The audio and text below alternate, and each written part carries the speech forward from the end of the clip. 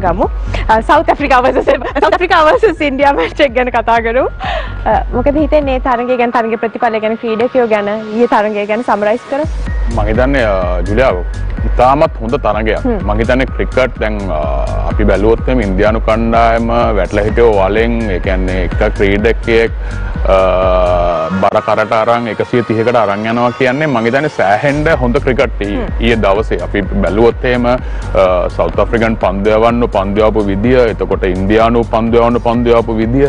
ඒ වගේම තමයි ඉන්දියානු ක්‍රීඩකයෝ අඩුවට දැවී යද්දී සූර්ය කුමාර ආදීව ක්‍රීඩා කරපු ඉනිම ඒ ලබාගත් අර්ධ ශතකය ඒ වගේම තමයි ආය දකුණු අප්‍රිකානු කණ්ඩායමේ මුල කඩලු ටික අඩුවට දැවී යනකොට ඒ ඩේවිඩ් මිලර් සහ මාක්‍රා මාක්‍රම්. ලබාගත්තේ සමය සුසංයෝගේ පාර්ණශිප්ප ඉතින් මං හිතන්නේ කුඩා ක්‍රීඩකයෝ ක්‍රීඩකයෝ ටිකක් ඒ කියන්නේ ලංකාව ඉදිරියට ක්‍රීඩා කරන්න බලන් ඉන්න කුඩා ක්‍රීඩකයෝ බලන් හිටියා නම් ඊයේ තරඟය සෑහෙන ලොකු දේවල් ටිකක් ලබා ගන්න තිබ්බා ඊයේ තරඟේ. මොකද ඒක තමයි හොඳ ක්‍රිකට්.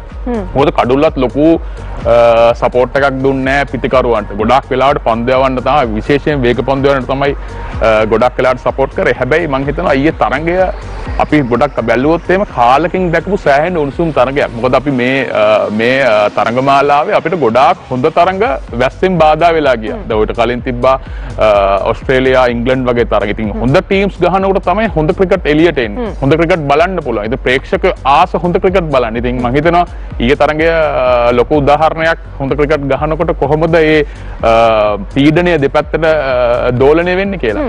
ඔබ ඔය කිව්ව දේත් එක ඊයේ දවසේ south Africa vs India match එකේදී අපි